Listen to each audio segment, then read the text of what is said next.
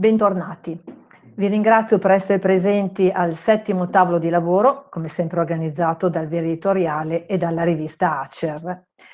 Eh, due parole prima naturalmente di passare appunto la parola ai nostri ospiti. Allora, prosegue intanto il nostro approfondimento, come ben sapete, alla ricerca di un nuovo modo di intendere la pianificazione, la progettazione e la manutenzione del verde in ambito urbano in un momento, almeno ancora critico, possiamo dire, legato all'emergenza coronavirus, anche se siamo entrati nella fase 3. Oggi affrontiamo il tema della manutenzione differenziata del verde con particolare riferimento ai tappeti orbosi, ovvero i prati, che penso di interpretare il pensiero di molti, eh, potremmo definire un po', anche se un po' semplicisticamente, come la cenerentola del verde pubblico e privato. Non è un segreto per nessuno che le pubbliche amministrazioni, se devono risparmiare, risparmiano spesso sul numero di tagli all'anno. E non è un segreto che ancora oggi in fondo non è compreso fino in fondo il loro valore ecosistemico, né esiste una diffusa competenza specifica sulle scelte vegetali da fare per garantire i risultati attesi. Eppure i prati rappresentano la maggiore superficie verde in città. Quindi porsi le domande di come gestire queste ampie superfici, con quali criteri, con quali finalità, è d'obbligo. E ho ripreso quindi, mentre mi organizzavo per questo um, tavolo, ho ripreso alcune domande che avevamo già eh, inquadrato in un convegno di due anni fa a My Plant and Garden dedicato proprio al prato, che sono ancora validi e sono ancora attuali ovvero le novità introdotte dal piano d'azione nazionale prima e oggi dai CAM, indicano effettivamente la strada per una nuova ricetta di prato urbano e gli attori della filiera verde sono preparati alle nuove esigenze di prati a bassi input? Mm?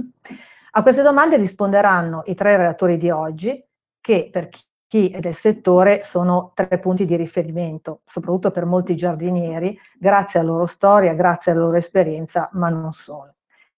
Eh, faccio presente eh, alla platea che come per i precedenti incontri avete la possibilità nel corso dell'esposizione di mettere in chat eventuali domande o riflessioni che poi naturalmente nell'ultimo quarto d'ora verranno condivise e girate ai nostri ospiti.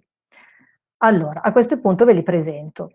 Nell'ordine sono Massimo Mocioni, dottor agronomo, consulente Federazione Italiana Golf e docente Scuola Nazionale Golf, membro del comitato di redazione di Acer.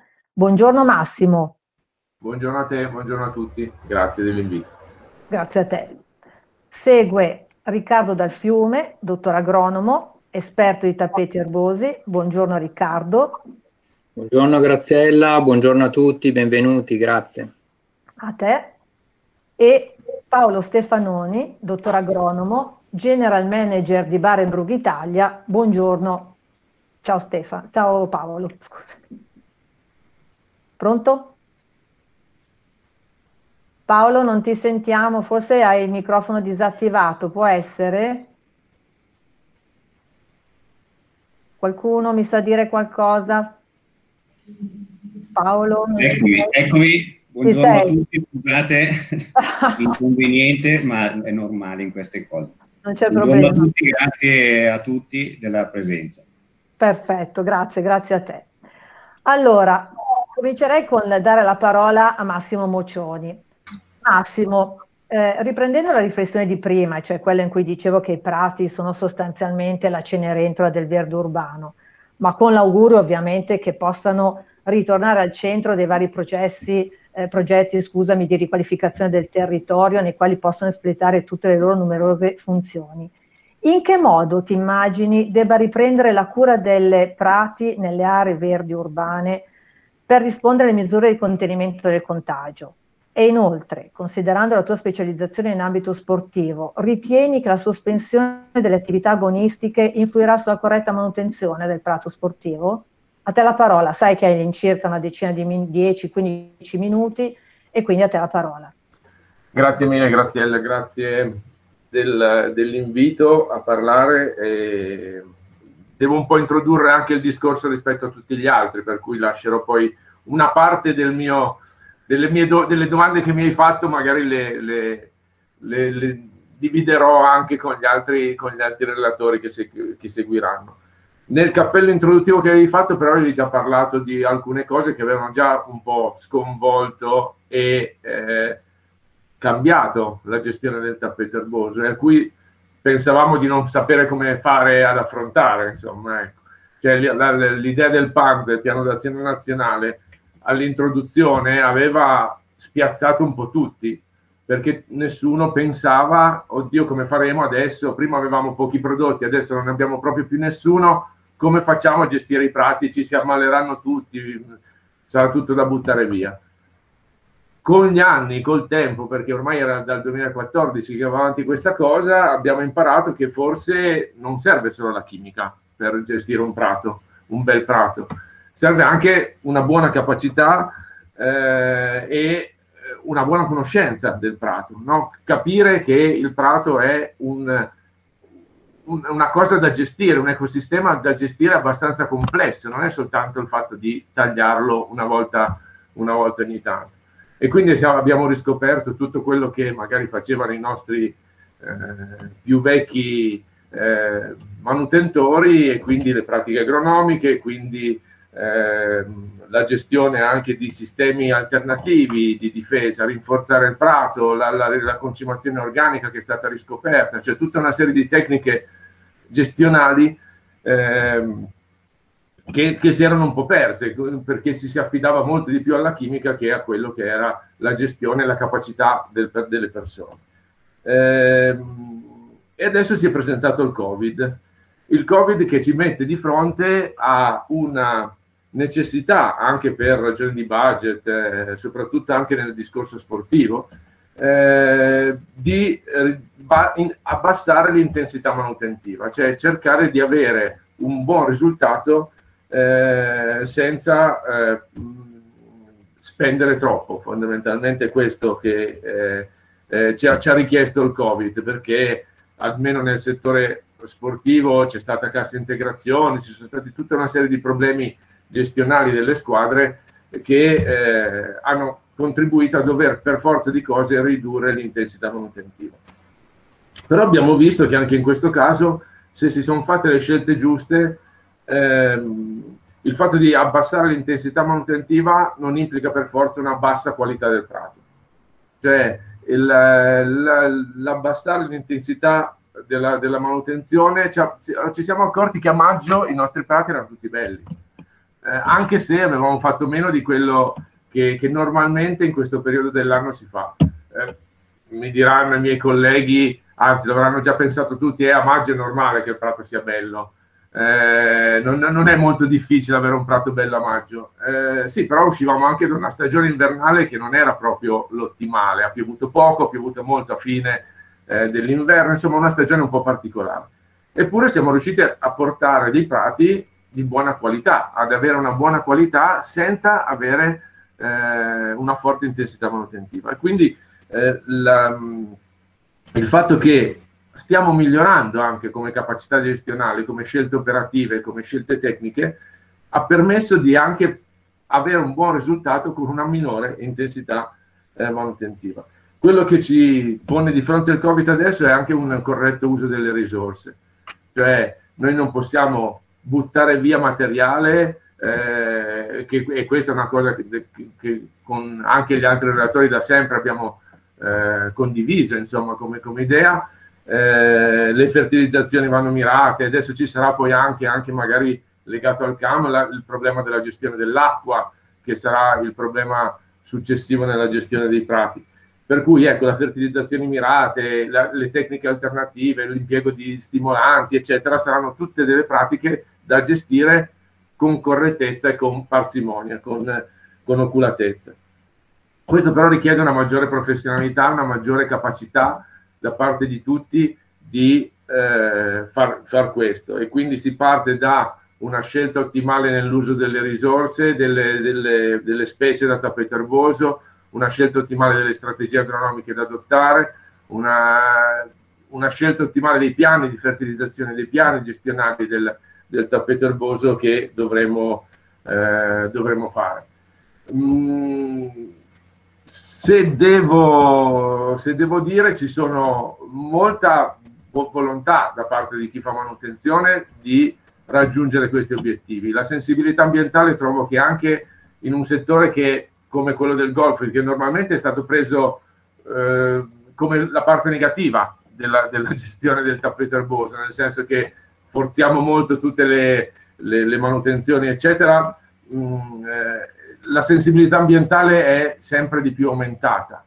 Eh, manca forse eh, un appoggio di tipo più istituzionale, se vogliamo, cioè eh, manca una, una, ricerca universitaria, manca una ricerca eh, di nuovi sistemi. Adesso per, stavo in questo periodo di coronavirus, studiavo eh, perché volevo fare un articolo e ho trovato la bibliografia sulla difesa ed è molto americana, classica, statunitense, però sta andando fortissimo la Corea, ad esempio, cioè ci sono moltissime pubblicazioni coreane eh, che lavorano molto su strategie alternative di difesa. Eh, quindi ecco, noi siamo restati un po' indietro, il bacino del Mediterraneo sarebbe un ambiente ottimale per, per, per poter fare ricerca, perché abbiamo tutte le condizioni possibili e immaginabili eh, per, per, gestire il prato con più o minore eh, difficoltà. Siamo proprio la classica zona di transizione in cui tutto, tutte le specie da tappeto erboso stanno bene, ma nessuna sta benissimo. Ehm, quindi università, ricerca e formazione, anche in questo caso la formazione è un fattore che manca. Ehm, e che sarebbe da, da eh, spingere e eh, portare, portare, molto avanti. E poi manca anche un'attenzione dei prati, l'avevi già accennato tu nell'introduzione Graziella, per quanto riguarda il settore pubblico. Cioè, eh, una cosa che il Covid ci ha fatto vedere è che abbiamo, siamo animali sociali, abbiamo bisogno di socialità, di trovarsi insieme. E non me ne vogliono i miei amici dottori forestali, però cosa fa socialità in un parco è il prato. Cioè, bisogna, bisogna sdraiarsi sull'erba. Io ho ben presente gli inglesi che escono la sera, il venerdì sera, con loro la bottiglia di vino, la bottiglia di birra, vanno sul prato, si siedono lì, finito di lavorare e si bevono una birra insieme.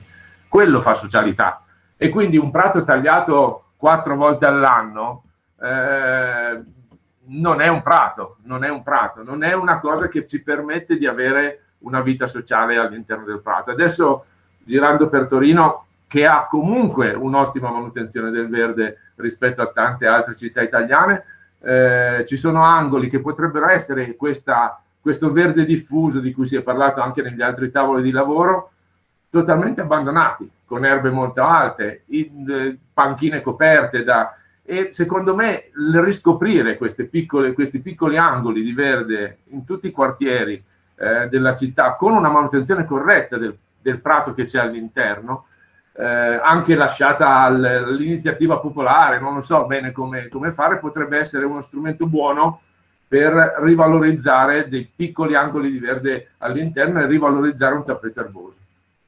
Grazie mille, io dovrei essere più o meno stato nei tempi che mi sono eh, stati dati, poi riparleremo nel caso in cui Va bene, grazie.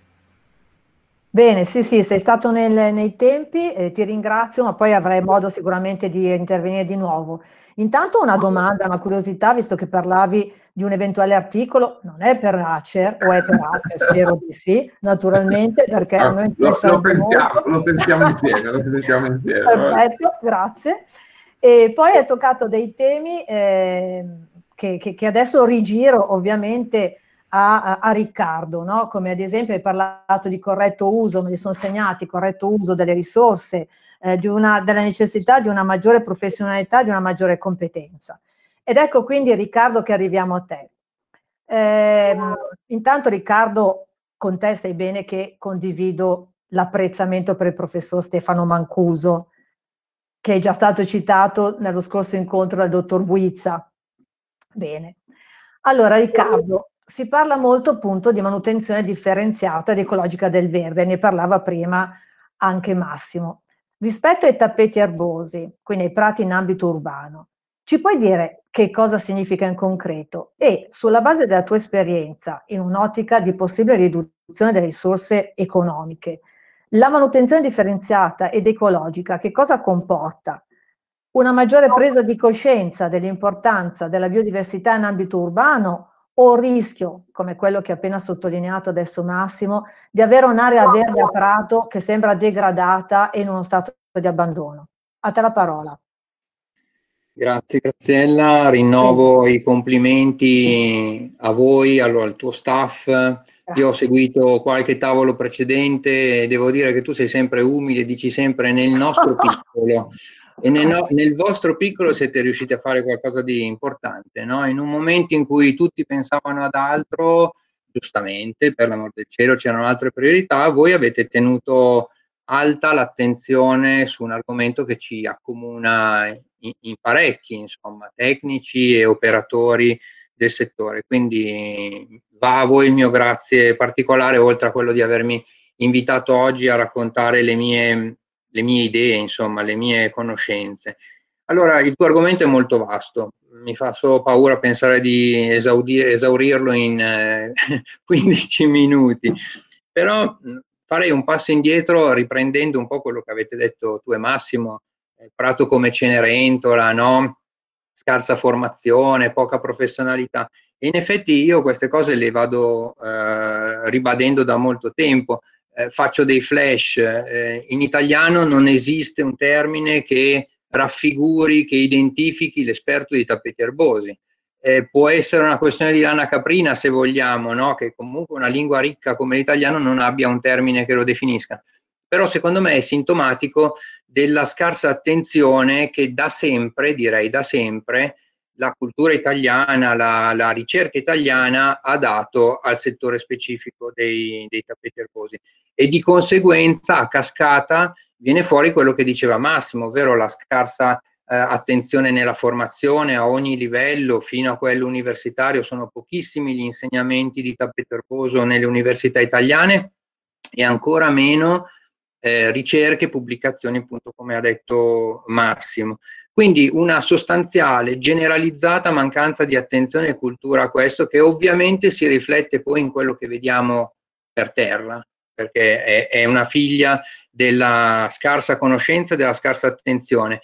E ti dirò di più, a me fa paura spesso, mh, sento molti mh, colleghi, insigni, relatori eh, che associano la parola verde urbano quasi esclusivamente agli alberi. E io contesto fortemente questa immagine, questa semplificazione, non perché ovviamente non voglia anch'io bene e valuti come importanti gli alberi, ma perché c'è altro nel verde urbano che viene sempre poco ehm, ricordato. Insomma, un po' un verde di serie B rispetto a tanti altri sistemi vegetali. Siamo pieni di foto di ragazzi e ragazze che abbracciano gli alberi eh, non mi ricordo di foto di, se non quelle mie di Massimo e magari di Paolo che ci seguirà, che stanno giù su un prato ad accarezzarlo e a guardarlo. Insomma. C'è molta meno empatia in un prato evidentemente che non, che non in un albero. Ma questo sarebbe poco male se non generasse delle pericolose distorsioni dalla realtà. Cioè io vedo da tanti anni, da osservatore, credo abbastanza attento, ehm, delle distrazioni pericolose che poi generano problemi. Eh, faccio riferimento al fatto che vengono visti i tappeti erbosi e i prati come fonti di inquinamento. Non si può generalizzare il concetto. Per alcuni c'è una manutenzione molto forzata, che tra l'altro oggi si è ridotta grandemente grazie a, al PAN e alle leggi che sono state imposte, per cui non è più vero in senso assoluto eh, questo, questo tipo di discorso. Molti altri denunciano il fatto che eh, ci sia un impoverimento, diciamo, vegetale, ecologico nel, nel discorso prato, quasi assimilandolo a una monocoltura.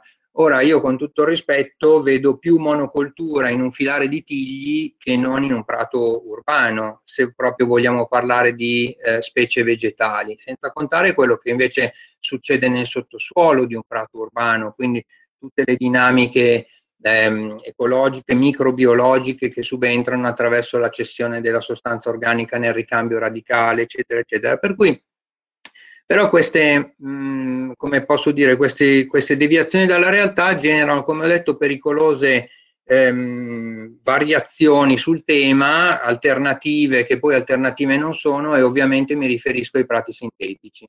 Lasciami fare un piccolo accenno su questo aspetto perché so che ci sono molte amministrazioni comunali. State attenti ai prati sintetici. I prati sintetici non sono l'alternativa ai prati naturali, non lo sono economicamente e non lo sono ecologicamente. Hanno una grandissima forza che è il, il marketing, che è la, eh, potenza di fuoco di multinazionali che ci stanno dietro rispetto a singoli professionisti o poche associazioni nostre di categoria, ma la gestione e soprattutto poi il successivo destino del tappeto erboso sintetico è qualcosa di, di grave, di pericoloso, no? eh, adesso non sono io a dirlo, ma eh, il fatto che questi prati non solo entrino nel discorso sportivo e già lì sarebbe grave, perché ricordo che ogni quattro campi eh, variati da naturale sintetico noi perdiamo tre ettari di terra eh, permeabile, eh, fotosintetizzante, attiva in termini di benefici ecosistemici. Ma il problema ultimamente è che questa, questa cosa si sta sdoganando anche in altri percorsi tipo giardini pubblici, aree gioco, eh, aree degli asili nido, nonché tanti, tanti, tanti giardini quindi è pericoloso ed è da evidentemente mh, attenzionare particolarmente perché la realtà è diversa. Come dicevi tu, il prato occupa la maggiore superficie nelle aree urbane. C'è uno studio americano che dice che siamo al circa 25% delle superfici eh, urbane americane che sono occupate da tappeto erboso. Quindi è una superficie grandissima che anche solo quantitativamente potrebbe cambiare il destino, diciamo, di, quel, di quello spazio, eh, nel bene o nel male a seconda di come la gestiamo.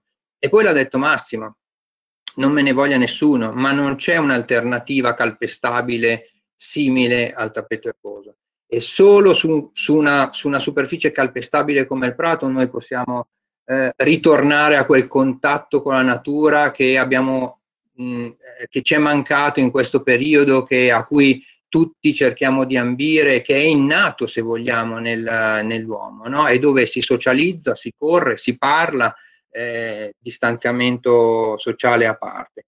Quindi mh, mm, non c'è una questione tra amici o nemici del prato. Il prato ha delle funzioni che solo il tappeto erboso, solo il prato urbano può, può avere. Ovviamente poi per rapidità tralascio gli effetti ecosistemici eh, che essendo un sistema vegetale tra l'altro fitto e molto attivo perché è erbaceo sono molto elevati, quindi tutti i discorsi legati alla riduzione del ruscellamento superficiale, la riduzione delle isole di calore, l'effetto filtro contro gli inquinanti, il sequestro di, di CO2, la produzione di ossigeno, L'aumento della fertilità biologica nei terreni, perché come ha detto Massimo ci sono strategie interessanti in manutenzione come il mulching che attenzionano molto questo problema e mantengono, diciamo così, la eh, sostanza organica lì, lì sul posto. Quindi mh, ci sono molti, molti aspetti che andrebbero rivalutati, enfatizzati e accentuati e fatti conoscere. Ehm, in altri tavoli si diceva non ripartire ma cambiare è proprio il caso di cambiare, perché ehm, con questi presupposti non si andrà da nessuna parte, quindi bisogna gettare un po' un colpo di spugna e in qualche modo ripartire da zero. Attenzione che zero nella manutenzione dei prati non vuol dire andare verso l'ignoto.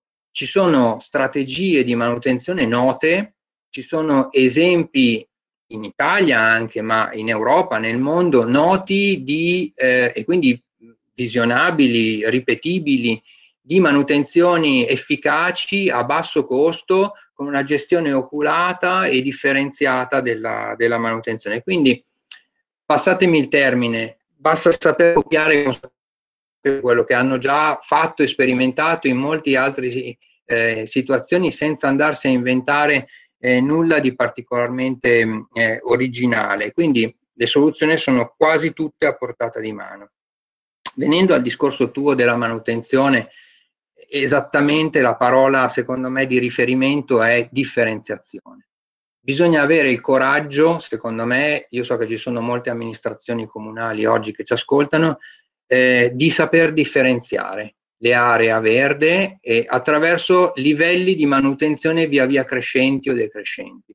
Questo è il primo aspetto che inizio già a vedere in molte, eh, in molte amministrazioni comunali.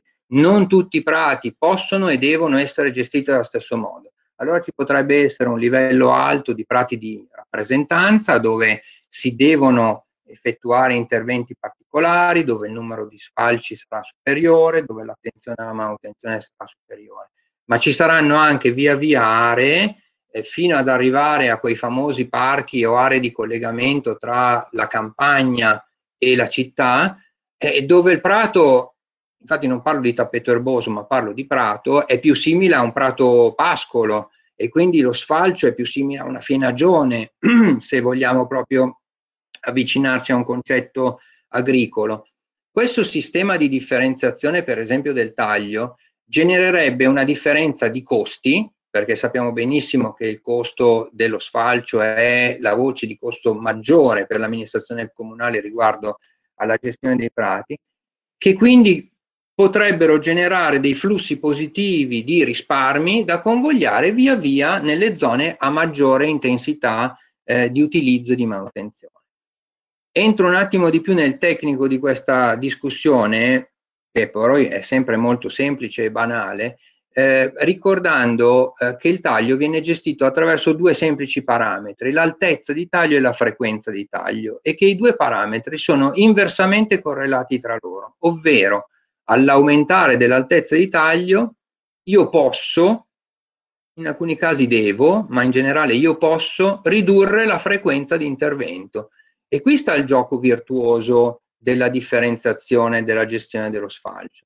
Perché se noi, e ci sono ormai moltissime prove e ricerche in tal proposito, noi riusciamo ad aumentare ehm, l'altezza di taglio media di tutti i nostri eh, prati, no? i vari livelli di cui accennavo prima, da, dal prato di rappresentanza fino a all'area estensiva, se noi riusciamo ad, ad accentuare l'altezza di taglio, quindi l'altezza di intervento su quei prati, noi eh, creiamo un, un, sistema virtuoso. Da un punto di vista biologico il prato ne risente positivamente, aumenta la sua fittezza, approfondisce l'apparato radicale, di conseguenza l'effetto diciamo estivo eh, di carenza idrica viene via via eh, ridotto, aumenta la competizione nei confronti delle infestanti eh, che chiaramente eh, avranno maggiori problematiche a inserirsi all'interno di un contesto più fitto perché tagliato eh, più alto, aumenterà la, la, la, capacità del prato di resistere e di, e di essere resiliente proprio nelle fasi estive e via discorrendo. E oltretutto ribadisco quella correlazione inversa con la frequenza, per cui all'aumento del taglio io potrò generare dei risparmi interessanti sulla riduzione della frequenza.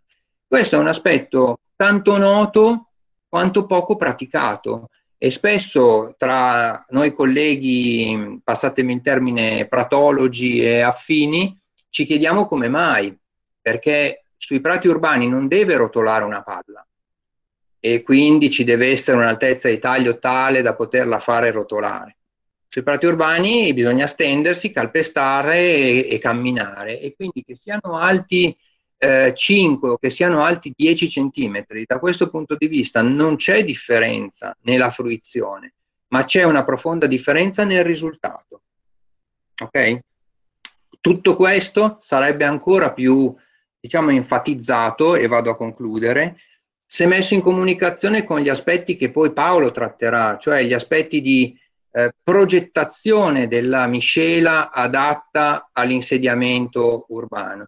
Qui ci sono stati enormi progressi da un punto di vista genetico eh, scientifico che non sono assolutamente considerati a livello di capitolati, a livello di linee guida nei comuni. Io leggo ancora cose, eh, scusatemi, aberranti in questi capitolati Leggo ancora la presenza di specie totalmente inadatte eh, messe lì forse senza pensarci o pensando che tutte le erbe sono uguali, tutto sommato. No? Quindi mh, concludo insomma in questa mia veloce ehm, trattazione bisogna ripensare il processo decisionale e, e, chiaramente parlando di amministrazioni comunali, perché questo è il senso forse maggiore di questo, di questo tavolo, eh, cercare di riguardare ciò che porta alla definizione delle linee guida e dei capitolati alla luce di queste, di queste considerazioni. Ovviamente per far questo bisogna conoscere, bisogna avere il coraggio di cambiare di non continuare a fare quello che si è fatto prima, no? che non è assolutamente evidentemente eh, detto che sia mh, corretto. E solo così noi potremo invertire questo trend che io continuo a vedere intorno a me molto pericoloso di distrazione dalla realtà, cioè di sostituzione progressiva dei prati naturali verso altre soluzioni che di eh, alternativo non hanno niente, che di economico non hanno niente, che di ecologico non hanno niente. Quindi, eh, ripeto, ripartire cambiando abbastanza radicalmente. Io con questo per ora ho concluso, poi so che ci saranno domande probabilmente. Grazie.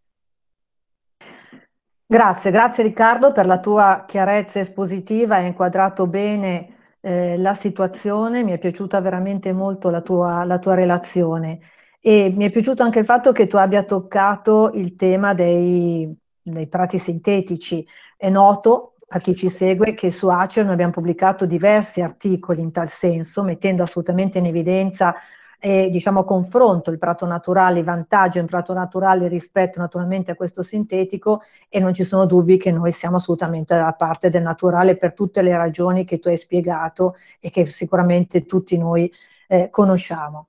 Eh, hai spiegato anche bene l'importanza della manutenzione differenziata, che cos'è, e, e, e quindi hai toccato il tema della, della questione della scelta delle delle specie, no? Di, de, appunto delle, delle, specie vegetali che si possono utilizzare. E quindi a questo punto io chiamerei subito Paolo Stefanoni, proprio perché poi avremo occasione di riprendere tutti questi argomenti, e, e, e quindi lo prego di, eh, diciamo, di, di, di palesarsi. Quindi intanto Paolo, tu sei general manager di una delle più importanti aziende sementiere a livello europeo, forse anche mondiale, non lo so eh, ma è sicuramente una delle poche che fa ricerca interna, questo mi sembra molto importante.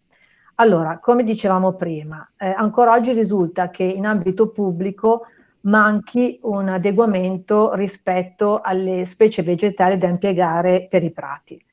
Com'è possibile quindi far conoscere le varietà di specie più adatte, più nuove, per realizzare prati più performanti e più aderenti alle esigenze delle nostre città e assicurare una manutenzione migliore rispetto al passato, che vuol dire appunto più sostenibile. A te la parola. Eh, grazie, Graziella. Ehm, allora, anzitutto mi unisco anch'io ai ringraziamenti fatti dagli altri relatori per questi incontri che sono eh, veramente interessanti. Quantomeno possiamo dire che hanno la, svolgono l'importante funzione di mantenere viva l'attenzione su alcuni argomenti come per esempio il tappeto erboso che se no sono sempre eh, limitati, circoscritti ai diretti interessati, ai pochi eh, che si interessano di, queste, di, queste, di questi argomenti. Eh, ringrazio anche Riccardo che mi ha dato l'assist per parlare di, di progettazione, eh, di miscugli, di specie, di varietà, eccetera, perché questo è sicuramente l'argomento centrale, secondo me. Eh, eh, Massimo e Riccardo hanno parlato molto bene per quanto riguarda la manutenzione, ma la manutenzione non può prescindere da una corretta progettazione.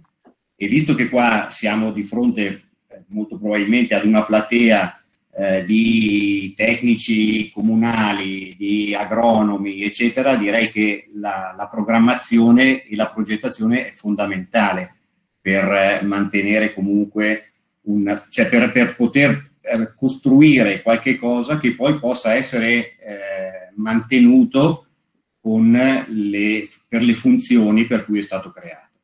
Quindi la, la, prima cosa da dire, e che è la cosa fondamentale, è che il prato comunque è una cenosi, è, una, quindi è un, ecosistema, seppur piccolo, costituito da più specie, da eh, piante con caratteristiche molto diverse, e quindi con eh, esigenze anche molto diverse. e parliamo solo delle specie, ma all'interno delle specie c'è un'infinità di varietà con altrettante caratteristiche diverse l'una dall'altra. Quindi la cosa fondamentale è conoscere. Diciamo che l'industria cerca di far conoscere.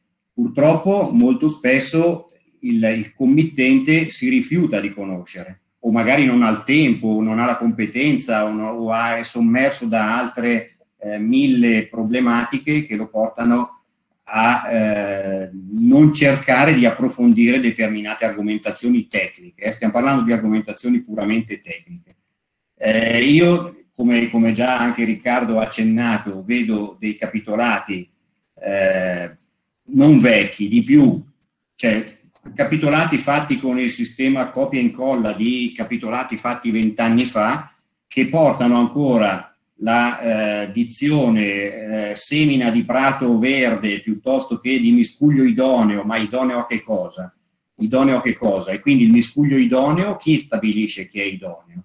Perché io posso avere un miscuglio fatto per avere un parco pubblico eh, calpestato sì e no, solo in alcune zone, magari altre zone poco accessibili, eccetera, e posso fare una scelta Oppure posso avere un campo sportivo, io non posso avere lo stesso tipo di tappeto erboso di qua e di là.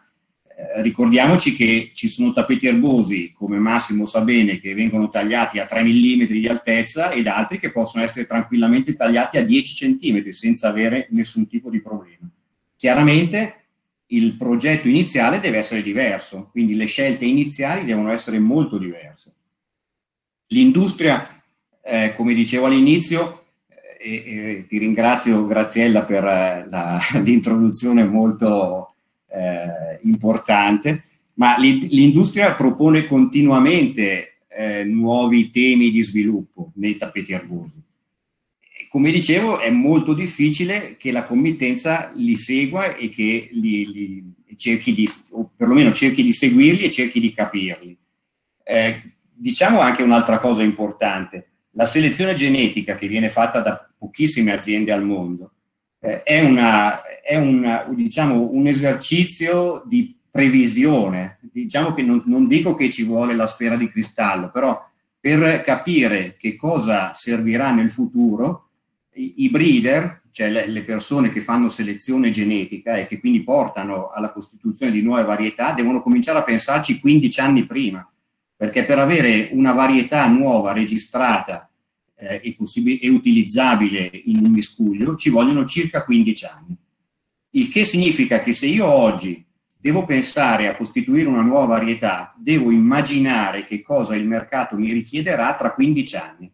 Quindi quando eh, 15 anni fa si diceva che, ci sarebbero, che sarebbe stato necessario per, avere, per esempio avere dei miscugli che con basse esigenze idriche, nel nord Europa, dove problemi di acqua non ne hanno mai avuti, chiede, dicevano ma voi siete pazzi, noi problemi di acqua non ne abbiamo, per cui perché dovremmo fare ricerca per selezionare varietà resistenti al, alla bassa disponibilità idrica.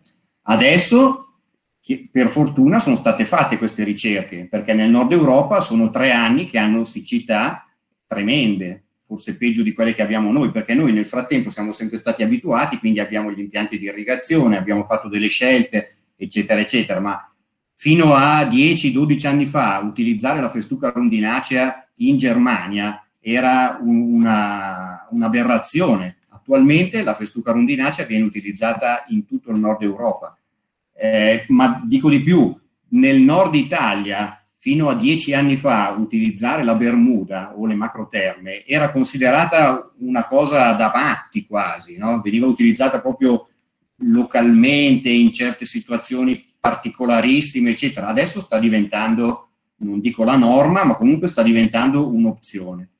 E questa opzione in particolare deve essere un'opzione importantissima per il verde pubblico, perché le macroterme hanno molte minori esigenze, hanno molte minori, eh, minori complicazioni, minori avversità rispetto alle microterme e soprattutto sono disponibili al top della loro qualità nel momento in cui l'utente, che, che è il cittadino, vuole utilizzare il tappeto erboso. Quindi questo è la, per, per spiegare come sta cambiando, per cui cambia il clima, cambia la selezione, cambia la genetica e quindi cambia anche l'offerta del mercato. Eh, l'altra, cosa importante è che nella, noi vediamo che c'è un, un, uno scollamento abbastanza ampio tra la ricerca, l'industria e l'utenza, cioè il, il mercato. Per cui se per passare dalla ricerca all'industria servono circa 5 anni, cioè vuol dire che il ritardo dell'industria sulla ricerca è di circa 5 anni, vuol dire che la ricerca comincia a pensare adesso a qualche cosa che l'industria recepirà tra 5 anni. A quel punto l'industria deve cominciare a ragionarci, fare la selezione, eccetera, eccetera. Il mercato arriva ancora 5 anni dopo o addirittura 10 anni dopo, o in certi casi non arriva mai. Questo è il, questo è il problema grosso. Quindi eh, io vedo spessissimo dei miscugli con, con eh, delle composizioni impensabili che vengono utilizzati in eh, condizioni assolutamente sbagliate e questo quindi è fondamentale. Cioè è fondamentale capire la, qual è la, l'esigenza e qual è, cos'è che offre il mercato. Diciamo che attualmente le linee, visti, visti i tempi, le linee guida della ricerca sono quelle che eh, vanno nella direzione di ridurre gli input ai tappeti erbosi. Per cui noi dobbiamo cercare di, di, costruire e mantenere dei tappeti erbosi che abbiano basse esigenze idriche, di taglio, di concimazioni, eh, di trattamenti fitosanitari, eccetera, eccetera. Noi dobbiamo ridurre i costi. Questo ormai è il, il diktat per tutti quanti. E quindi la, la ricerca sta andando in quella direzione. Ed è possibile, quindi non è possibile, anche prima si parlava di tagli, non è possibile dare un'indicazione generica di tagli, cioè 4, 5, 10, 20 tagli all'anno, ma di che cosa? Io posso avere dei miscugli che crescono molto meno e possono fare, sui quali si possono fare eh, che ne so, 10 tagli all'anno, all'anno mantenendo comunque un livello qualitativo molto alto. Dopodiché, se io nel miscuglio ho eh, specie varietà foraggere o specie che non hanno niente a che vedere con l'ambiente nelle quali vengono utilizzate, se io faccio 20 tagli all'anno comunque avrò sempre un prato schifoso, perché questo tenderà a crescere tantissimo e di conseguenza il, il taglio abbasserà drasticamente la qualità. Quindi eh, bisogna passare da, dall'ottica di risparmiare a tutti i costi nella, nella costruzione all'ottica invece di fare delle scelte giuste che ci permettono nei 10, 15, 20 anni in cui sarà la durata del tappeto erboso di poter avere il, la, la, il tipo di manutenzione ideale per quel tipo di uso, per quel tipo di prato. Quindi la progettazione e quindi la genetica e quindi l'offerta al mercato ci dà la possibilità di fare quello che vogliamo. Dobbiamo solo informarci e capire come ci possiamo muovere e cosa possiamo scegliere. Quindi mi sento di dire che l'informazione non manca, bisogna solo andarsela a cercare oppure volerla eh, recepire. Ehm, l'ultima cosa che voglio dire, e che ho accennato già, è il discorso delle macroterme. Le macroterme, soprattutto in ambiente pubblico, in ambiente urbano, dal nord, dal sud al nord, quindi ormai diciamo in quasi tutta l'Italia, lasciando magari perdere le, le aree montuose dove fa più freddo, eccetera, però sono sempre utilizzabili. Bisogna capire dove e come utilizzarle e bisogna anche cominciare a pensare che magari il prato non va considerato come il prato sintetico che eh, io definisco più, più frequentemente eh, plastica, perché non è un prato sintetico, è un, una stuoia di plastica, eh, diciamola così. Quindi io a volte vedo delle rotonde fatte in plastica che sono orribili, per quanto uno voglia cercare poi di metterci il sasso bianco che fa contrasto, però sono veramente orribili. Nelle, nelle rotonde stradali, per esempio, chi ci impedisce di mettere delle macroterme? Io vedo, sul, vedo a volte, è vero, vanno contenute, vanno gestite, eccetera, eccetera, ma a volte sarà capitato a tutti probabilmente di vedere su una rotonda un impianto di irrigazione che funziona mentre piove, mentre sta piovendo. Quindi queste sono tutte cose da evitare, è inutile andare a fare delle rotonde con il prato di agrostide o con il prato di Po in purezza che deve essere, che richiede per la gestione una, una competenza che probabilmente nessuno a quei livelli ha. Bisogna fare un prato che possa essere gestito facilmente e bisogna anche accettare, per esempio, che il prato durante l'inverno, quanto gli alberi perdono le foglie, il prato può essere giallo. Chi ci dice che non è bello? Si possono fare delle combinazioni cromatiche stupende anche nella scelta del, nell'uso delle macroterme, assieme a degli arbusti, a delle tappezzanti, a degli alberi, eccetera, eccetera. Quindi bisogna ripensare un attimo alla progettazione e, e a cascata scendere alla manutenzione. Io ho terminato la mia presentazione. Grazie, grazie Paolo. È interessantissimo. Effettivamente hai anche tu illustrato perfettamente come i precedenti tuoi colleghi eh, la situazione e da qui emerge eh, chiaramente che, che, insomma, per avere dei risultati bisogna partire da una corretta progettazione, bisogna scegliere specie adeguate alle condizioni ambientali e a tutto il resto, condizioni fondamentali per avere poi una manutenzione corretta che eh, ci permette di contenere anche i costi. Quindi diciamo che il discorso è molto semplice teoricamente, poi sappiamo che di fatto, di, di fatto non è così fino in fondo. Ho visto in chat mentre parlavi che un eh, partecipante ha chiesto mh, di indicare eventuali pubblicazioni che potrebbero essere consigliate anche per capire bene questi temi. Io al momento molto modestamente mi permetto di dire che magari anche abbonarsi ad Acer può aiutare, anche se noi non entriamo ovviamente nel, dentro nel, nella, nella questione proprio tecnica precisa, ma l'affrontiamo, comunque affrontiamo ovviamente tutte queste tematiche a livello tecnico-culturale. Quindi ehm, io chiedo intanto alla regia di eh, cominciare a presentare le domande, ho visto che c'è qualcosa, visto che c'è ancora, grazie, dottor Petrillo, già abbonato, mi fa piacere, grazie. Ehm, chiedo quindi alla regia di presentare domande ed eventualmente anche alcune riflessioni. So che in platea ci sono nomi noti, ehm, come ho già detto in altri precedenti tavoli, non siate timidi, se è necessario chiedete eventualmente di intervenire. Come sempre l'obiettivo di questi tavoli è quello di, eh, di, di, di fare, fare, confronto, è un, è un modo per confrontare le varie opinioni e per portarci a casa qualche idea in più, qualche riflessione in più. Quindi Diego, procedi, dimmi un po' come cosa, cosa possiamo dire, se c'è qualche domanda. Sì, allora un primo gruppo di domande si concentra eh, sulla scelta delle, delle, specie per la creazione del tappeto erboso. Quindi è arrivata una domanda molto generica all'inizio che è stata in parte già eh, sviscerata dalle, eh, dagli interventi dei relatori, però vediamo se mh, mm, eh, mh, mm, intendono aggiungere qualcosa. Quale specie vedreste meglio in un contesto di verde urbano? e legato, eh, legata a questa e legata a quella che ha detto Paolo Stefanoni sulle macroterme, l'utilizzo generalizzato di macroterme può costituire un problema di inquinamento ecologico? Possiamo chiedere a Massimo, magari?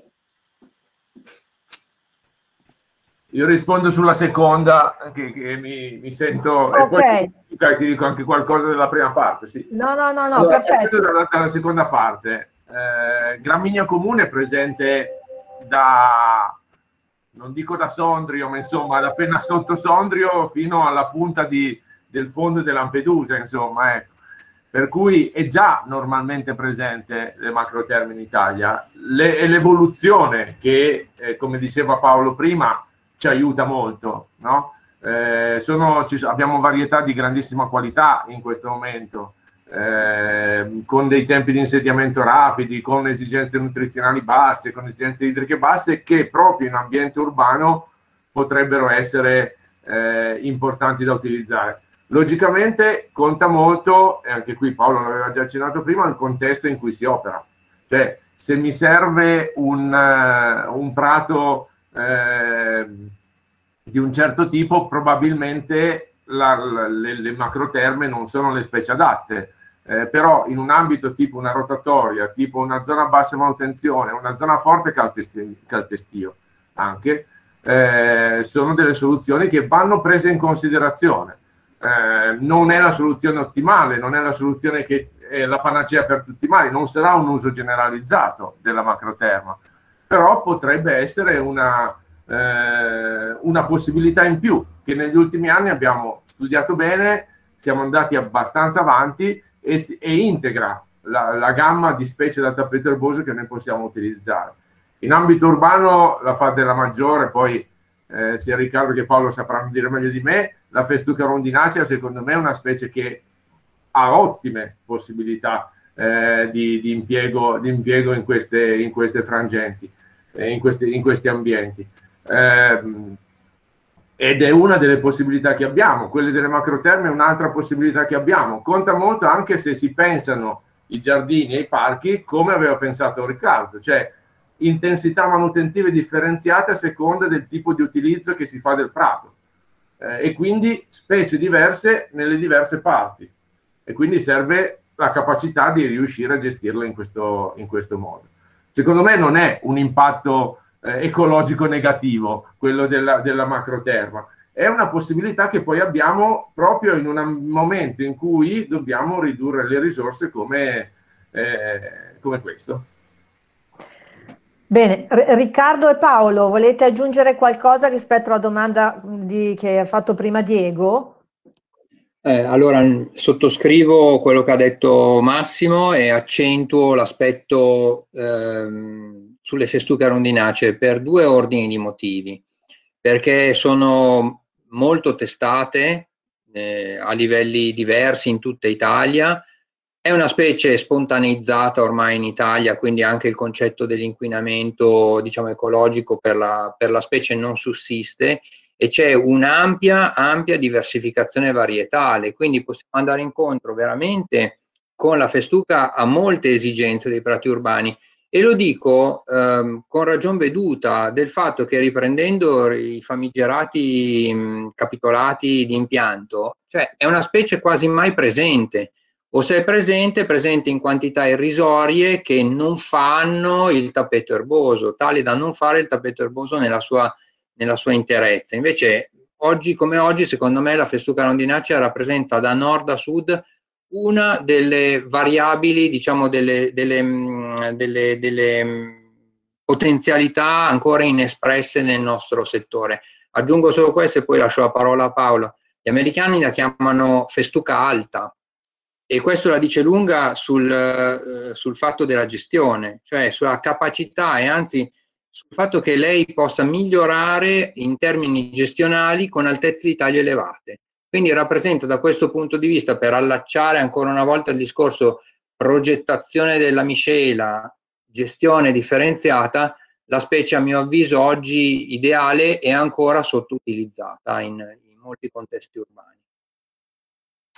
Grazie. Paolo. Ma allora il, sul, sul, fatto del, del, possibile inquinamento ecologico mi viene da pensare che un prato comunque, se io devo fare un tappeto erboso, eh, comunque vado a utilizzare delle specie che magari non sono presenti esattamente in quella zona eh, ecologica in cui lo vado a realizzare, ma sto facendo un qualche cosa di, tra virgolette, artificiale, nel senso io sto costruendo un tappeto erboso che deve rispettare a determinate esigenze paesaggistiche, funzionali, eccetera, eccetera. Per cui assolutamente non vedo questa possibilità. Poi, certo, le specie graminacee disseminano, se uno non le taglia le lascia crescere, eh, e di conseguenza possono eh, colonizzare un, uh, un, territorio anche volendo. Però, eh, nel senso, stiamo parlando di un tappeto erboso, per cui non stiamo parlando di un prato eh, di un rinverdimento ecologico e quindi non vedo questa, questa problematica. Vale la stessa cosa per qualsiasi albero, arbusto, eccetera, che non è mai o quasi mai autoctono. Per cui non, nel, nella progettazione a me interessa la funzionalità. Se poi, pra, se poi, uno mi chiede un prato ecologico perché si deve inserire in un ambiente, che ne so, una cava piuttosto che un recupero, eccetera, non farò mai un prato di, di non lo so, di, di, loietto e festuca, perché probabilmente bisogna fare qualcos'altro in, in quelle circostanze.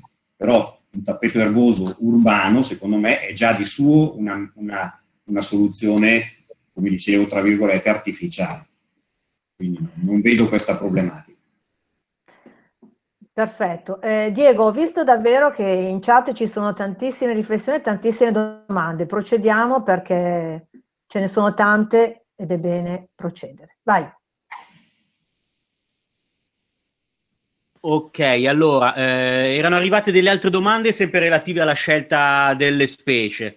Eh, chiedono se è, è plausibile pensare a realizzare un tappeto erboso con specie vegetali spontanee per esempio, e, e, se ci sono dei contesti in cui queste specie vegetali spontanee sono sicuramente adatte al luogo. Bene, qui eh, credo che i, tutti e tre possiate dare una risposta. Io mh, mm, mi, affido, mi affido completamente a voi. Non so, decidete. Oppure cominciamo al contrario. Ripartiamo da Riccardo, poi Paolo e poi Massimo perché è molto interessante questo confronto, ve lo posso Interessante spiegare. anche se esula un filo da quelle che sono forse le nostre competenze. Mm, io direi sì, che... che si può, Riccardo. Esatto, esatto. Che si può. E io, mm, detta così a caldo, chiaramente sarebbe probabilmente la soluzione a molti problemi.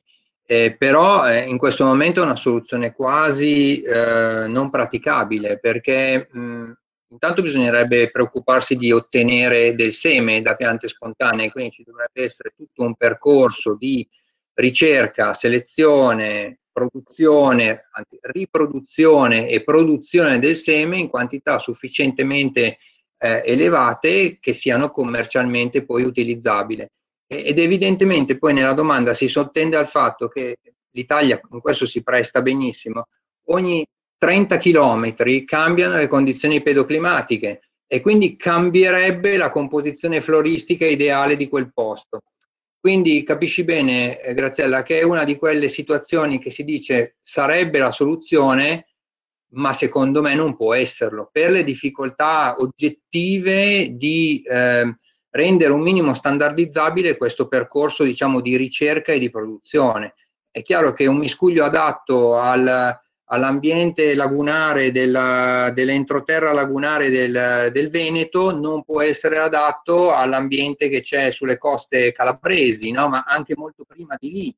Basta andare in Liguria, basta andare nel, all'interno della pianura padana. Quindi, sinceramente, la difficoltà la vedo molto elevata sul piano pratico della fattibilità. Bene, Qui, quindi Paolo, eh, riprendendo le parole di Riccardo, questa cosa non, non, c'è una soluzione o c'è una soluzione? Ma no, non, non, c'è la soluzione, concordo pienamente con quanto detto da Riccardo. Eh, non, ehm, al di là del fatto che non esiste la produzione di specie che siano autoctone in tutti gli ambienti, eh, Già il fatto, se io prendo una specie che è stata raccolta in Calabria e che magari là è, auto, è una specie autoctona là. E io la, la, la riporto in Veneto, altrettanto quella specie può essere autoctona là, ma nel momento in cui io la vado a riprodurre, la vado quindi a migliorare anche geneticamente per avere una maggiore, maggiori performance, maggiore produzione di seme, eccetera, eccetera, immediatamente non è più quella che ho raccolto là, perché comunque non è corrispondente a quella che io posso trovare in Veneto. Quindi diciamo che queste sono un po' quelle, quelle eh, cose che eh, si, si, dicono o si scrivevano, non so quando, adesso non, non sono più tanto aggiornato sui discorsi, ma quando si parlava della semina di fiorume, il fiorume altro non è che uno spalcio di erbe eh, autoctone che vengono lasciate naturalmente disseminare e che teoricamente dovrebbero riprodurre esattamente l'ambiente erbaceo che c'è nella zona.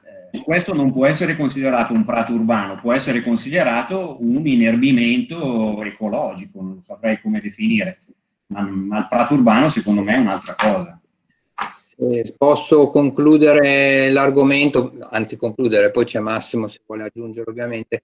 Eh, mi viene in mente adesso, ma questo è forse il momento giusto, di segnalare che la ricerca a cui ha fatto ampio riferimento Paolo, la ricerca genetica, il miglioramento genetico delle specie graminacee, ha tra i suoi obiettivi conclamati da, molto, da molti anni, da alcuni anni, un fattore secondo me determinante in quello che stiamo dicendo adesso, che si chiama adattabilità.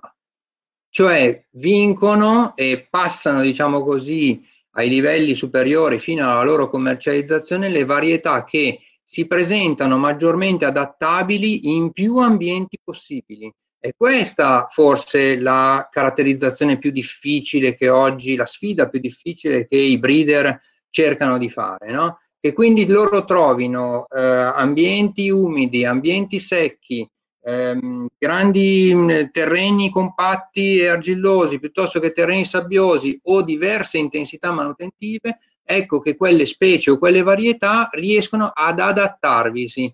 Questa parola è una parolina magica no? che eh, più riusciamo a concretizzare nelle scelte all'interno della nostra miscela di, di, sementi e più risolveremo problemi, perché anche all'interno dello stesso, del, dello stesso comune avremo ovviamente zone molto diverse tra loro e quindi la capacità di usare varietà il più adattabili possibili alle diverse caratteristiche del luogo e del terreno risolverebbe per noi molti problemi. Massimo, e in ambito sportivo com'è la situazione? In ambito sportivo la situazione è quella che, che dicevano loro, nel senso che fondamentalmente la ricerca va verso la specie più adatta per quelle determinate, esigenze. Noi dobbiamo avere eh, le migliori performance eh, e quindi cercare le specie che in quel determinato ambiente, in quel determinato eh, microclima o clima che noi abbiamo, ehm, per, hanno le migliori performance. Per cui è molto molto importante il discorso di adattabilità che, che faceva eh, che faceva prima, prima Riccardo. Cioè, la, la, scelta non è una scelta, dice questa specie va bene dappertutto, ma noi dobbiamo scegliere nel singolo caso, nelle singole condizioni, eh, la, specie, la, specie, più adatta. Eh, Paolo parlava prima di macroterme, le macroterme hanno un grandissimo uso, io sono innamorato delle macroterme, loro due lo sanno e, e ogni tanto forse mi prendono anche un po' in giro. Eh, però non vanno bene dappertutto. Cioè, non, non possiamo pensare che sia la specie eh, che, che, ci ha risolto tutti i problemi, le specie che ci hanno risolto tutti i problemi. Eh, abbiamo situazioni in cui queste specie non le possiamo utilizzare. Eh, pensare a un prato naturale, fra virgolette, vuol dire a un prato che si adatta bene alle esigenze in cui è e, e che non dobbiamo forzare troppo. Ecco, la, la necessità è quella di non, non forzare non arrivare troppo, troppo forti, ecco, con, le, con gli input soprattutto. Diego, ho visto altre domande abbastanza puntuali. Eh, vuoi riprendere per favore? Perché eh, poi chiaramente vale quello che dico tutte le volte, questo è un tavolo di confronto, non c'è la ricetta valida per tutti, nessuno è depositario della verità assoluta, però sicuramente abbiamo tre esperti eh, molto competenti, quindi eh, è sicuramente il momento anche per approfittarne, se mi permettete. Diego? Eh, sì, si accenna poi ai servizi ecosistemici e in particolare anche al, mh, all'impatto ambientale che ha la manutenzione del, del tappeto erboso. Quindi chiedono, per limitare ulteriormente l'impatto ambientale dei prati urbani, è possibile progettare una manutenzione solo con motori elettrici? E a questo punto aggiungo io, se si possono essere indicate alcune strategie per appunto un, una manutenzione a impatto ambientale ridotto. Beh, insomma, qui direi che è una domanda anche questa molto abbastanza complessa e non so, Massimo, Riccardo, forse comincerei da Massimo in questo momento. Eh, sì, allora, ehm, Sicuramente l'impatto ambientale del tappeto erboso non è un impatto ambientale negativo, nel senso che eh, ci sono ampi studi ormai che sia della carbon sequestration, sia di, di altri fattori, indicano che è migliorativo. Una buona manutenzione del tappeto è sicuramente migliorativa dell'impatto generale sull'ambiente eh, data dal, dal, tappeto erboso. Ehm, questo sicuramente sì. Le, abbiamo più strumenti dal punto di vista elettrico, questo è anche assolutamente vero. Noi abbiamo la possibilità di utilizzare eh, ottimi macchinari, appunto anche ibridi, oltretutto anche per grandi superfici come il golf, ormai la possibilità di utilizzare macchine ibride perlomeno, se non anche totalmente elettriche, che per adesso ancora poco performanti, eh, abbiamo le possibilità di ridurre ulteriormente questo tipo di impatto. Anche nel pubblico c'è questa, questa possibilità. Eh, torniamo alle ragioni di costo, fondamentalmente, che sono quelle che bloccano spesso l'impiego di questi, eh, di questi sistemi. Ecco.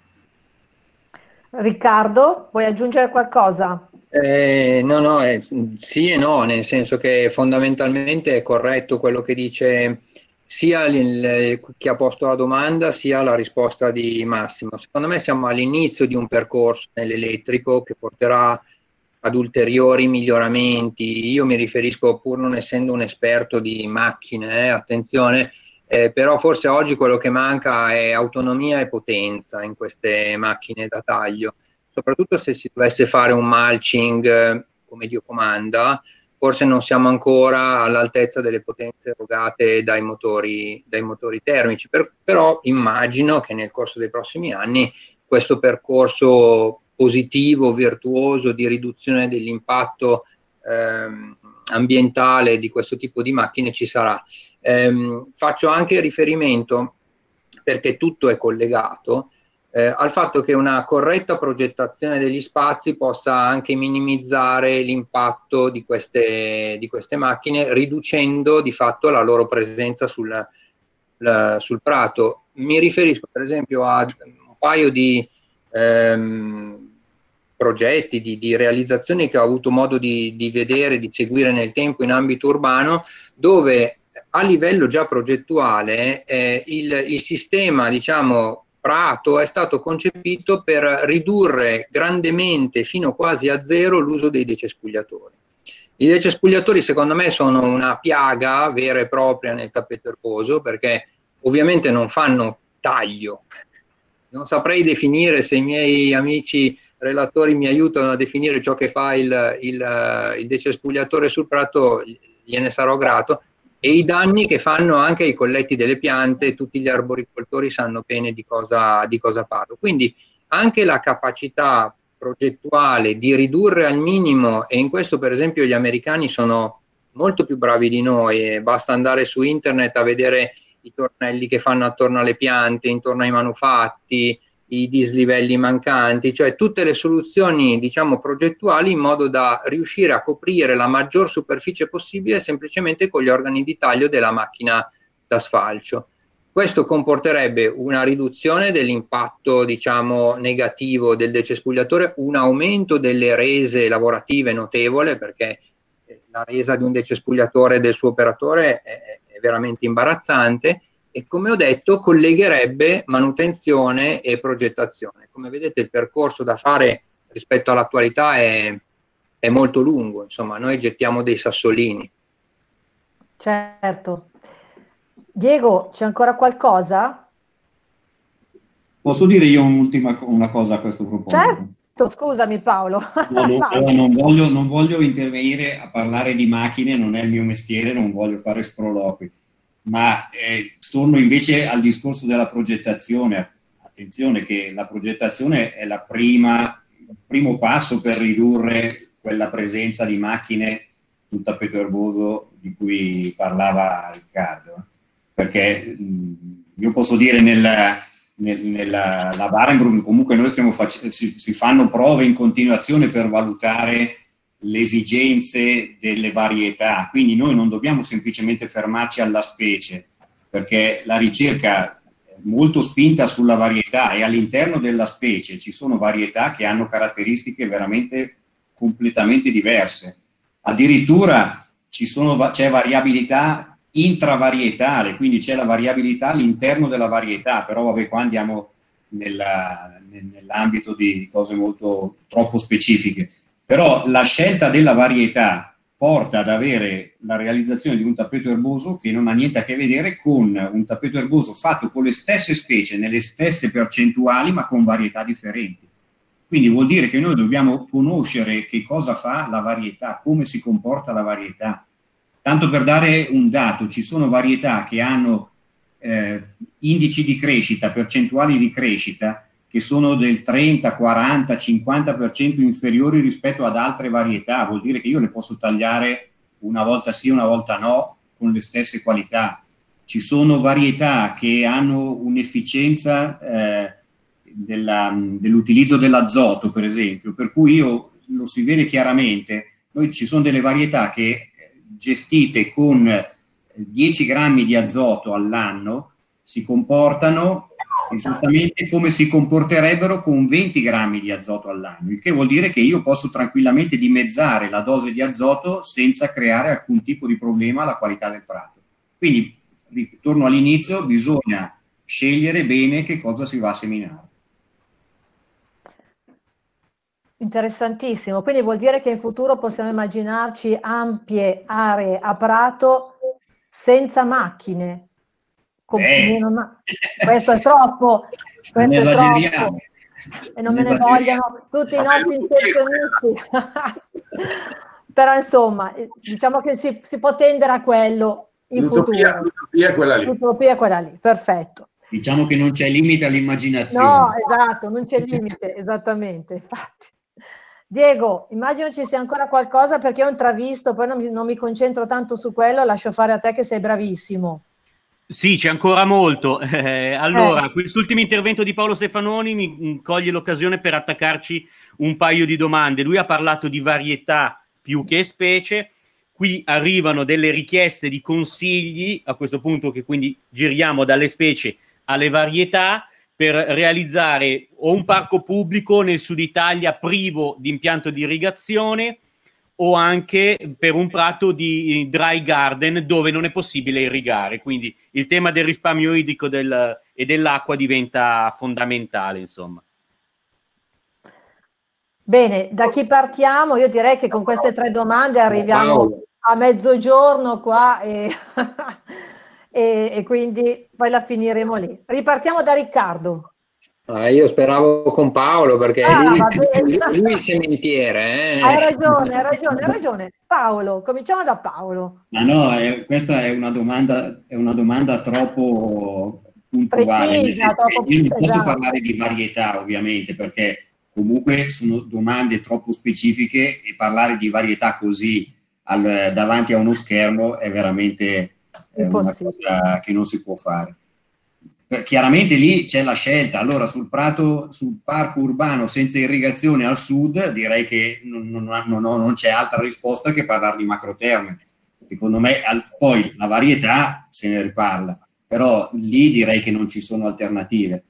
Il, il prato, il giardino secco, senza acqua, ugualmente bisogna ragionare sulla, sulla composizione del prato e sulla, eh, e sulla composizione varietale. Purtroppo bisogna ragionare sulle varietà. E l'altra cosa importantissima da capire è il, un altro aspetto a cui forse aveva accennato inizialmente eh, Riccardo, non mi ricordo più, su della resilienza. Le graminacee sono delle, è una famiglia di specie che, ha, che, ha, che sono veramente eh, delle bestie se vogliamo, nel senso che sono in grado di crescere in, quasi in tutti gli ambienti e di sopravvivere. Ma sopravvivere non vuol dire che rimangono sempre eh, verde con la colorazione top eh, per 12 mesi all'anno. Noi dobbiamo sfruttare nelle graminacee e quindi nel tappeto erboso la sua resilienza, cioè la capacità di adattarsi all'ambiente eh, andando quasi a riposo nei periodi critici per poi ripartire nei momenti migliori per loro. E questa è una caratteristica tipica di alcune specie, come per esempio la Popra tensis. Ci sono varietà di Popra tensis che resistono tranquillamente senza una goccia d'acqua durante tutta l'estate, se coltivate in un certo modo. E perché? Perché queste tendono a fare un po' l'opposto, cioè l'inverso di quello che fa la Bermuda.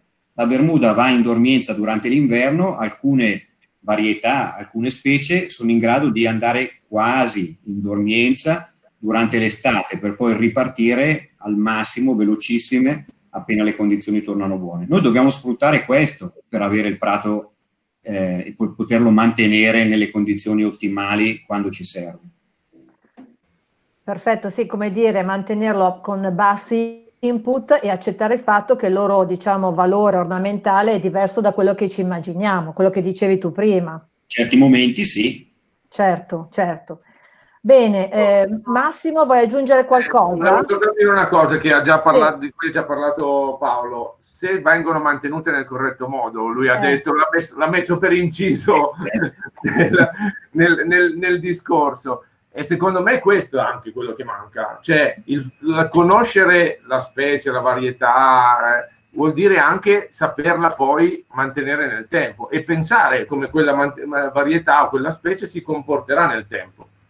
Eh, il fatto di progettare eh, una cosa che cui peccano tanti che progettano giardini eh, e adesso qui mi tirerò tutte le pietre addosso è che non pensano come si evolverà il prato non, non dico le piante arboree perché quelle si conoscono meglio ma il prato nel tempo che cosa succederà al prato in base all'intensità manutentiva che io gli posso, gli, gli posso applicare cioè io devo già fin dall'inizio un po' conoscere che tipo di manutenzione farò a quel prato e quindi scegliere in questa funzione il prato giusto nel posto giusto.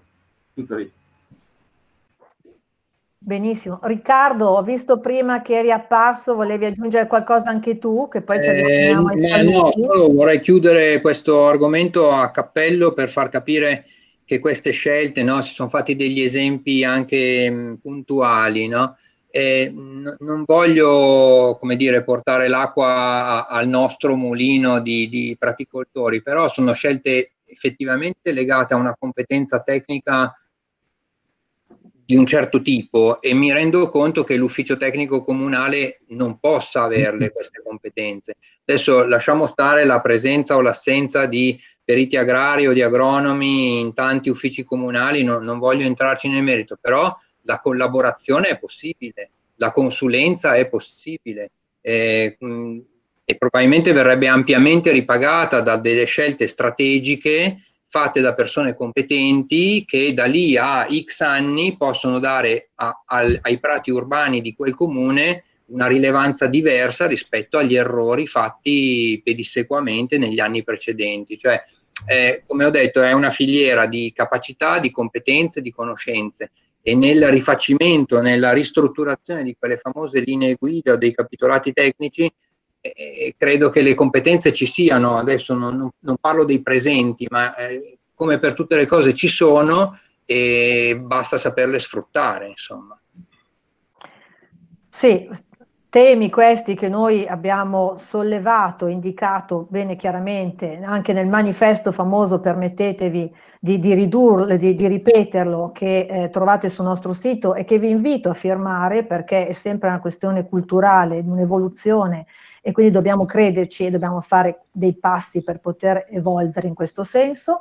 Qualcuno in chat ha richiesto ancora una volta la possibilità di avere eh, dei suggerimenti di titoli, di libri da cui attingere, io posso semplicemente dire che noi al, um, indicheremo alcuni di questi, se naturalmente i relatori vorranno indicarceli nella base dei, nei commenti alla base della videoregistrazione che tra qualche giorno sarà presente sul nostro sito mi permetto anche di ricordare che tra le nostre free, free publication, se andate sul nostro sito, abbiamo una pubblicazione dedicata proprio ai prati che si chiama Transitioning Turf Grass e che riporta una serie di interventi e di prove in campo che sono state realizzate lo scorso anno presso il golf della Montecchia. Magari trovate anche qualcosa di interessante, è in inglese, però eh, diciamo qualche spunto, spunti interessanti ci sono senz'altro. Io adesso non so, Diego, se vuoi aggiungere ancora qualcosa e che siamo effettivamente alle 12, non vorrei andare troppo oltre, dimmi tu. Eh, no, dimmi tu, nel senso che qui di domande chiaramente ce, ce ne, sono, sono tante. Ce Beh. ne sono altre. Eh, vediamo se una, una brevissima si chiedeva eh, dal punto di vista delle pubbliche amministrazioni, se ci sono un po' o dei dati per sapere in che percentuale, che fetta delle pubbliche amministrazioni richiedono una progettazione differenziata dei prati, se è una domanda a cui è possibile rispondere. Eh, io se posso aggiungere una cosa, ehm, poi naturalmente risponderanno i nostri relatori, noi che ci occupiamo di comunicazione e di informazione, questo dato al momento non l'abbiamo. Spero lo avremo perché come ho già accennato in uno dei precedenti tavoli, ehm, vogliamo dare a, vita ad una nuova iniziativa che eh, è molto legata alla gestione del verde pubblico e naturalmente anche tutta la questione dei capitolati, eccetera, eccetera. Quindi penso che quella domanda potrà ottenere una risposta, però magari Massimo piuttosto che Riccardo, piuttosto che Paolo hanno un'idea. Se l'avete, benvenga. Io no, non saprei, non saprei dare delle, delle, valutazioni da questo punto di vista, non ho proprio idea. No, nemmeno io ho numeri, ho solo delle sensazioni. Ecco. La, la, sensazione ecco. è che qualcosa sta cambiando. Eh, rispetto al baratro di alcuni anni fa in cui si vedevano eh, i famosi capitolati copia e incolla che raccontava mh, mm, eh, Paolo, eh, qualche miglioramento io così, ma in modo diciamo del tutto eh, a sensazione, ripeto, non numerico, io lo sto vedendo, ci sono alcune eh, amministrazioni che si stanno muovendo nel, nel, senso di quello che stiamo dicendo noi, quindi ragionando sulla differenziazione, migliorando gli aspetti compositivi dei miscugli utilizzati per gli impianti, insomma ci sono piccoli segnali di vita. Bene, direi che queste sono le parole migliori per concludere l'incontro, sempre che Paolo non voglia aggiungere qualcosa anche lui, par condicio. Ho, diciamo che non ho una platea così ampia da poter dare dei numeri. Posso anch'io dare una sensazione. La mia sensazione è che forse qualcosina sta cambiando, ma molto, molto lentamente. C'è qualche, qualche tecnico illuminato che si informa, però se no per la maggior parte la, cosa, la linea guida è il prezzo. Siamo sempre lì, speriamo che cambi qualcosa di più eh, eh, prossimamente, non troppo in là, a breve. Allora, ehm, ricordo alla platea che chi desidera i crediti formativi o gli attestati di partecipazione cortesemente mandi la richiesta nel pomeriggio per questioni organizzative. Nel caso dei crediti formativi, specificando nome, cognome, codice fiscale, ordine provinciale di appartenenza, numero di iscrizione all'ordine, mentre per l'attestato bastano il cognome e il nome. Eh, desidero ringraziare di cuore i nostri esperti, veramente mi è sembrato veramente molto interessante oggi questo tavolo, molto bello, e naturalmente tutti i professionisti che eh, si sono collegati e che ci hanno dedicato il loro tempo. Vi ricordo che la videoregistrazione sarà disponibile tra qualche giorno sul nostro canale YouTube, digitando il vero editoriale, e vi do appuntamento venerdì 5 giugno con il tavolo numero 8 sul tema la fruizione delle aree verdi. Non perdetelo perché si parlerà tra il resto molto di progettazione delle aree verdi diffuse.